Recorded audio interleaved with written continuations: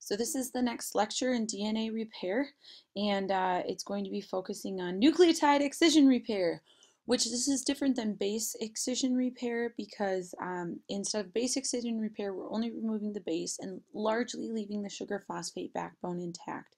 In this case, we're removing the base and part of the sugar phosphate backbone.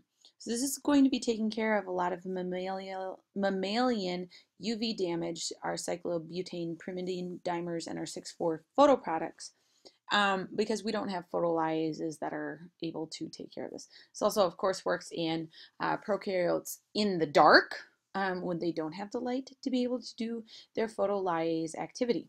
Um, this is also going to take care of a lot of alkylation damage and certain types of cross-links. The actual pathway itself is pretty similar across all organisms, and it begins with damage recognition, uh, where we have our pyrimidine dimer. If you remember, um, uh, or other types of damage, of course. If you remember, the pyrimidine dimers will cause some sort of um, 30 degree kink in the backbone or a bend in the backbone, and that's actually what's going to be recognized by this uh, pathway. It's not going to recognize a specific sequence on the major or the minor grooves. So after damage recognition comes uh, the excision nuclease, which is going to do the actual cutting on either side of the lesion. And you can see here that it's going to cut out more than just the actual affected uh, nucleotide. So it cuts out several more. Then the uh, helicase will come along and it will remove the oligonucleotide created by the cuts. And again, it's only going to remove a single-stranded bit of DNA, leaving the remainder or the uh, complementary strand intact, which will then be used by a uh, DNA polymerase to uh, create new or a new complementary strand or to replace the strand that we just removed using the complementary strand as a uh, template. And of course, it's going to put in the correct bases at the site of our lesion. Um, as I mentioned, the basic pathway is very similar across all organisms, but it's going to differ at the level of the enzymes that are doing the excision nuclease activity, the DNA helicase activity, and the polymerase and ligase activity. Uh, we're going to do prokaryotes and eukaryotes uh, separately, of course, because that's how it works in molecular biology. We figure it out in prokaryotes usually, and then we move on to our understanding of the eukaryotes. The prokaryotes, the major damage uh, specific endonuclease system is going to be this UVR-ABC. This is going to be the damage specific endonuclease. And so this is going to be doing the uh, recognition and cutting of the actual damaged base pairs. And so it's got three major proteins that we start with, UVRA, UVRB, and UVRC. And these work together, so we call it the UVR ABC endonuclease. We start out with UVRA. It's got two UVRB binding sites, two nucleotide binding sites, and an ATPase. And so it's going to bind to UVRB. As we know, it's going to work with UVRB. It's also going to be responsible for the recognition of the actual damage site.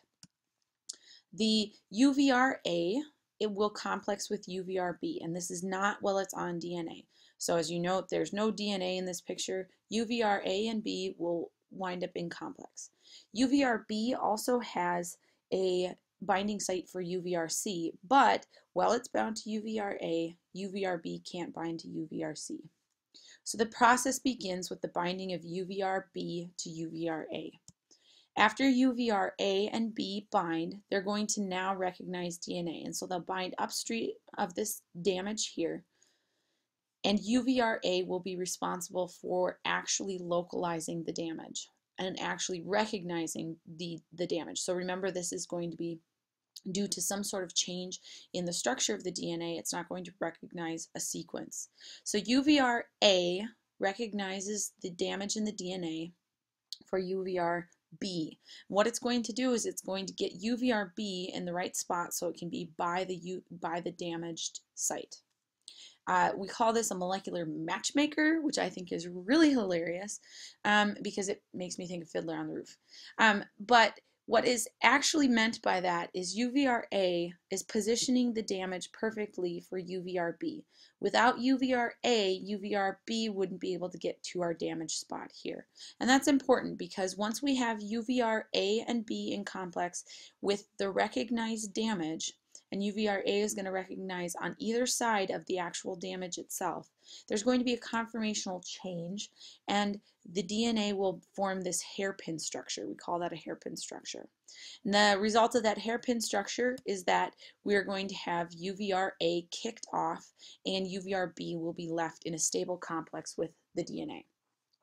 You'll note here that uh, UVRB is changed a bit from its structure down here, and we see that the DNA is now going through this active site, and it acts sort of as a helicase where we're able to unwind the DNA. So it's going to unwind the DNA on either side of the actual damage, as we show here with the star, of course. But it's still in this stable complex with the DNA, and it unwinds it. So again, just to remind you, the steps were that we have UVRA and B wind up in complex. They'll bind to the DNA. UVRA will wind up recognizing the damage.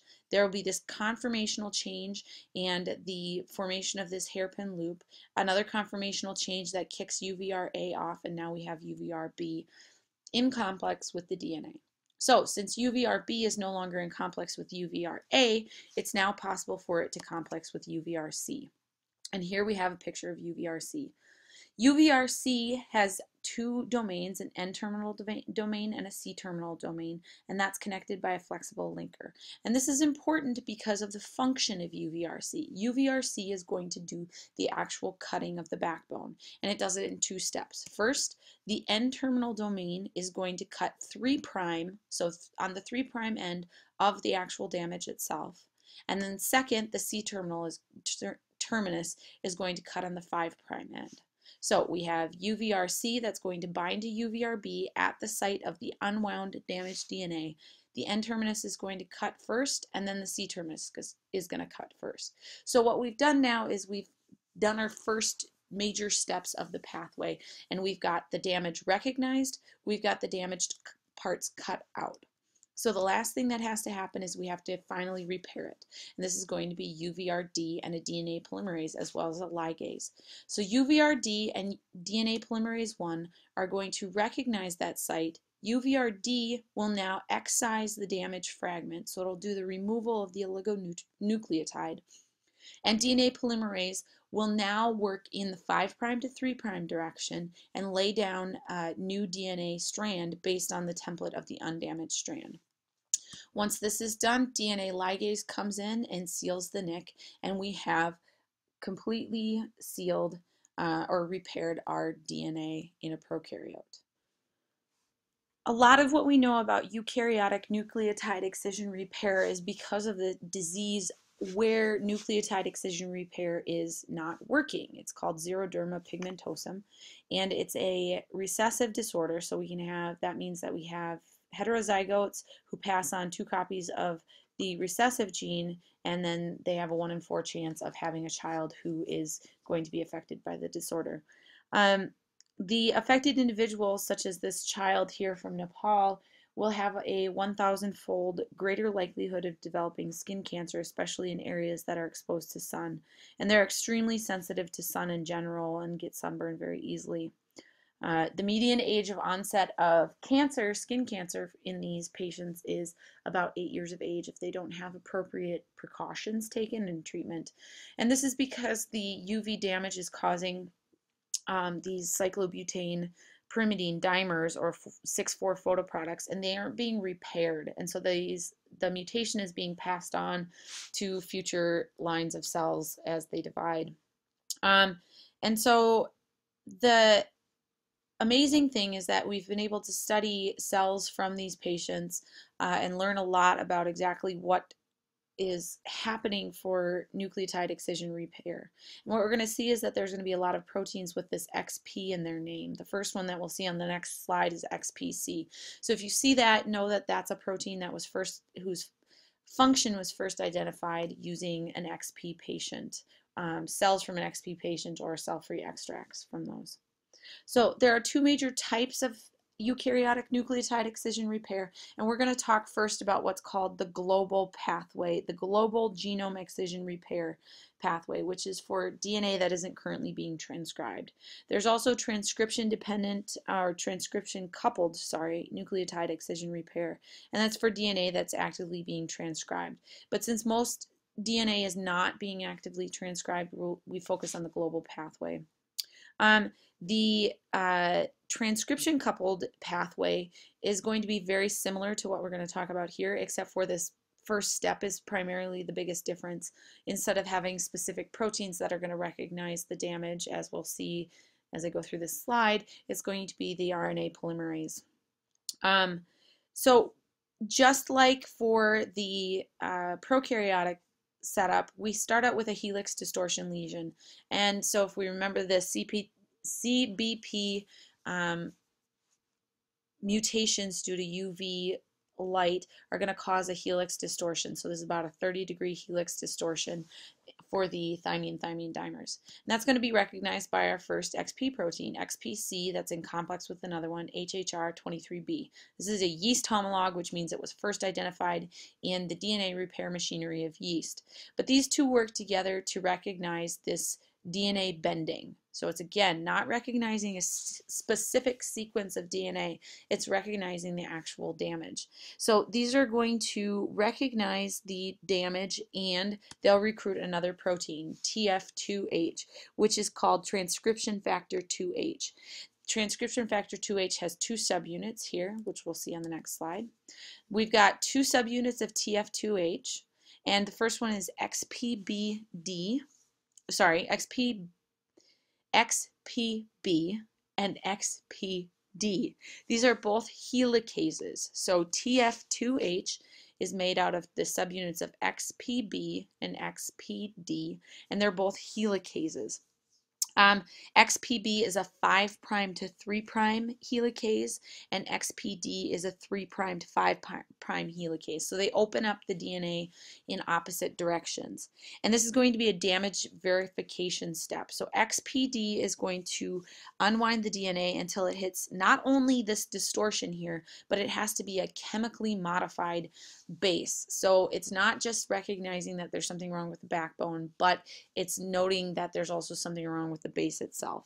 So thus in order to be fixed by this pathway, the DNA damage has to cause distortion in the backbone and a chemical modification of the base. So once we have this damage verification by XPD, we're going to have XPB open it up even further and so we have a nice what looks like a replication bubble, but it's actually just to repair the damaged uh, base here. So again, that's the TF2H, which is the XPB and XPD that are going to recognize the actual damage and are going to open up the strand so that it can be fixed.